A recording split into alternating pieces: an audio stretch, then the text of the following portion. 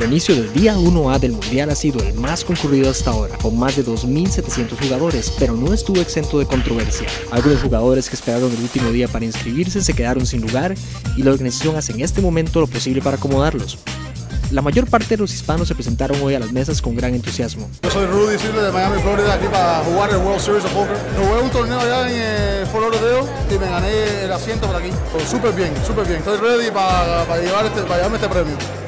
Entre las caras conocidas están Alejandro Arrubarena, Nacho Barbero, Marta Herrera, Ángel Guillén, Humberto Brenes y muchos más que estaremos siguiendo a lo largo del día.